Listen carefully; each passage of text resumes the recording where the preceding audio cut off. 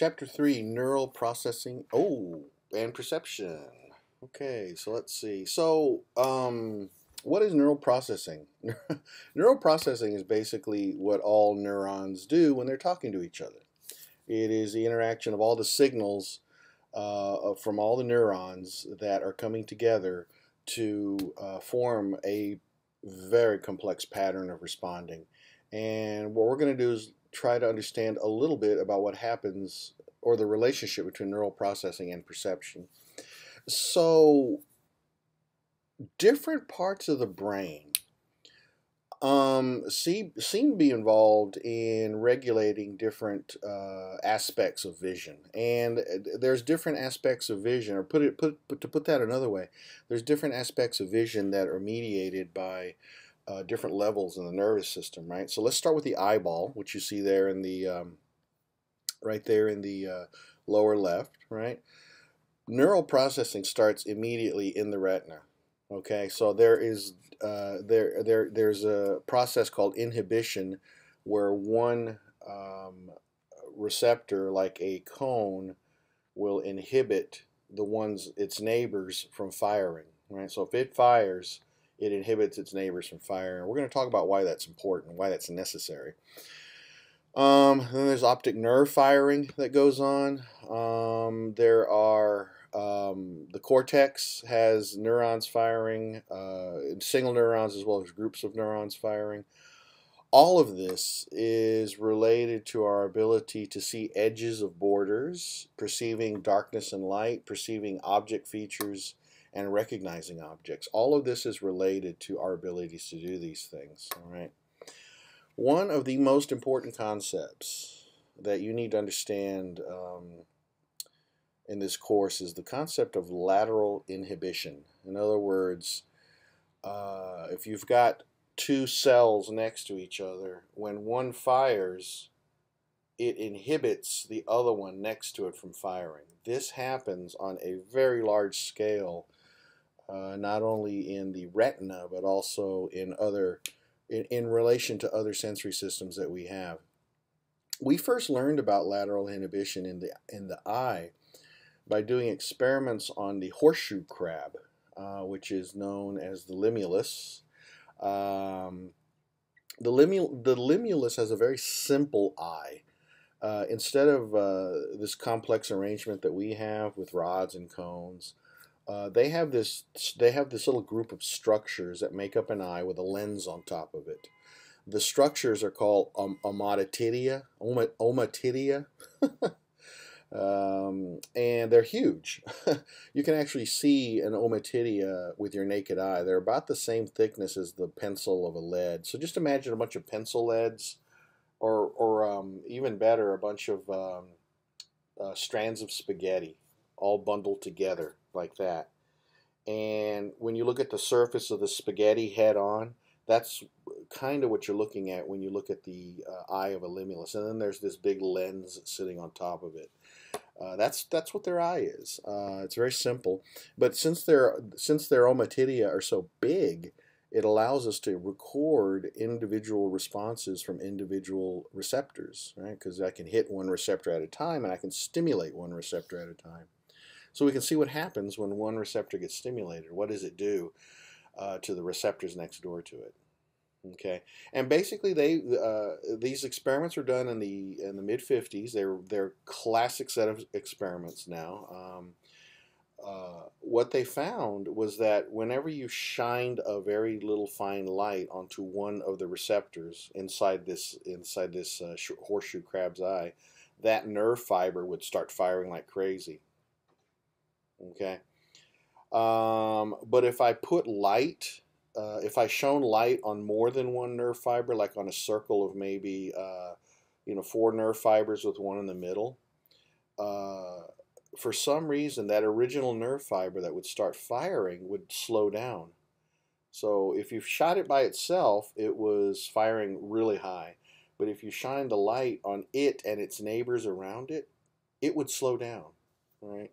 And this is due to inhibition. The neighbors around it the uh, the other ommatidias around it are uh, inhibiting it from firing. We're going to and uh, the question you have to ask yourself at this point is why? why do why do our eyes do that? Right. And here's a picture of the omatid of the uh, horseshoe crab, limulus, and there's its eye right there on the side. It's got one on each side. Um, so here's what they found, right? Uh, so the the little cartoon drawing that you see right here, these this is this each represents one ommatidia, right? Uh, and the ommatidia are wired together like uh, with a, this uh, neural tissue called the lateral plexus, and it's a lot like the uh, amacrine cells or the uh, horizontal cells that we have in our retinas. Right? We have uh, we have uh, these. If you remember, if you look at the um, anatomy of our retinas, we have amacrine cells and um, horizontal cells that go that cut across and connect uh, ganglion cells and receptors together so that they can work together. Well, this is part of the explanation to you as to what's happening when I say work together, right? This is what's happening, one of the things that's happening, right? So, um, light hits, um, if I were to just shine the light on A, right, on this little guy A, it would fire like crazy. And once again, we have these one of these graphs where each one of these little uh, lines you see represents one action potential. So as you can see, A is going crazy. If I were to light up A and B simultaneously with the same intensity, uh, A would slow down. The recording from A would slow down. If I were to continue lighting up A and B, but I were to increase the intensity of light on B, A would slow down even more. Right? So there's this very curious way that these things are wired together so that um, uh, they work together to inhibit each other. Okay, they work together to inhibit each other. All right. Um, there's some weird uh, visual effects that you can see if uh, that that you can notice. Um, due to lateral inhibition because this process happens in our eyes as well, right? If we have uh, one set, you know, one spot of our retina that's lit up and one spot in our retina that's not lit up, uh, the spot in our retina, retina that's lit up will inhibit the areas around it, right? Um, we have the Hermann grid, the Mach bonds, and Mach, Mach bonds, Mach bands, and simultaneous contrast, seeing adjacent areas of different brightness due to the adjacent areas. Okay, uh, let me show you the Hermann grid. Okay, this is the Hermann grid, and what you do, this is a grid made up of nine squares, and if you look at this closely, what you're going to see after a while of staring at it is you're going to see dots at the intersection. So, especially if it's in your book, if you look at your book on page 55, figure 3, 4, you should see you should see like gray dots here, here, here, and here. Okay, you have to ask yourself, why am I seeing that illusion? Why does my brain, why does my brain want to fill that, that white space in there with dots? Right? Well, what's happening is, this is all through lateral inhibition, right? These edges, right, at these edges here, um, have the most uh, exposure of neurons. Uh, I'm sorry, th this dot, this spot on your retina here has the most uh, um, uh, cones being lit up, right? Cones and rods, I guess, but that are being lit up when you look here. Uh, all these cones and rods together are being lit up at the same time. Now remember, what happens when a neighbor is lit up? What happens to you if your neighbor gets lit up? You decrease your firing, right?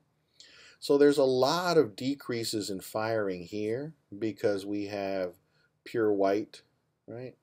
And there's a lot of decreases in firing here. There's not as much here because there is um, there's much less inhibition going on here and here because there's less uh, th there's less white here, right?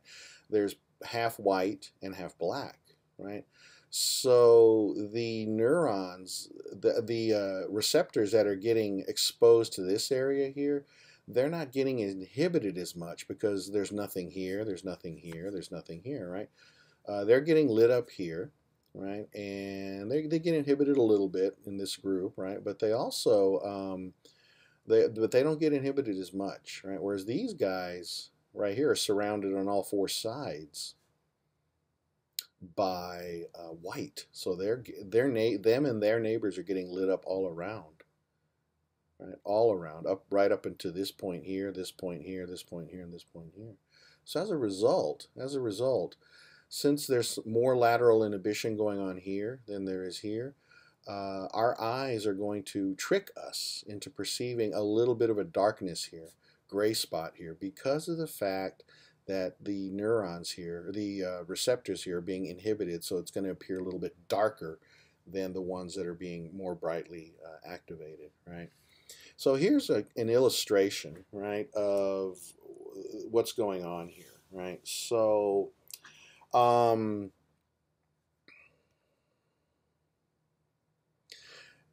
the and this is a cartoon drawing to kind of show you what's going on here. So here's here's one of the intersections of the grid, right? And we have four recept or five receptors that we've drawn here, right? Receptor A, B, C, D, and E, right? Notice that receptor A, like I said, receptor A is surrounded on all four sides by brightness, right? So it's going to be getting inhibited from D, from E, from B, and from C. Everybody's going to be inhibiting A, right? Um, what about and so because they're all getting stimulated at the same rate, right? They're all this is all the same amount of light that's coming to your retina. Same amount of light is coming from here, here, here, here, and here, right? So they're all they're all getting stimulated the same amount. However, uh, they're not getting inhibited by the same amount, right? Because look at D, right? D would only be getting inhibited from A, right? E would only be get, inhibited a little bit from A. B would only be getting a little inhibited from A, and C would only be getting a little inhibited from A. So since they're not as inhibited as much, this will look brighter. But A is getting inhibited by 4, by 4 versus 1, right? So that causes a decrease. As you can see here, that causes uh, E, uh, E sends a, um, uh, a signal to um, to A. They all send signals to A, and as a result, uh, as a result, that uh, the brightness of the light is attenuated, or we perceive it as being a little bit lighter, right? Because um, because of this inhibition. Uh, here's another example, right? Um, so let's say that each one of the cells are getting uh, one or, or, are getting one stimulated at 100, right? Um, and that would let C, D, and, and, and C, D, E, and B are not being inhibited, right? They're just firing away. So if they get stimulated with a value of 100, and this is just a, a, a hypothetical unit, right? There's not, you know, we're not talking about 100 anything. It's just a hypothetical unit, right? So these four these four receptors around, or if they get stimulated with a value of 100, uh, they will inhibit their neighbors by a by a, a, factor of 10, right? So they'll reduce their neighbors by 10, right? And then they'll transmit out here 100, right? So I'm going to send out 100, I'm going to send out 100, I'm going to send I'm going to send out 100, and I'm going to send out 100.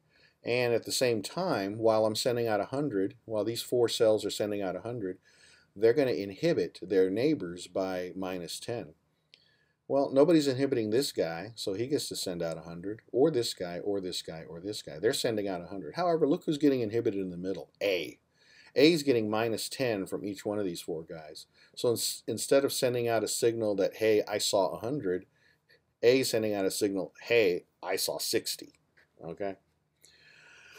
Um, so here is, um, right, so here's a, here's another example, right? This is why you're not seeing the, uh, the black dot at D, right?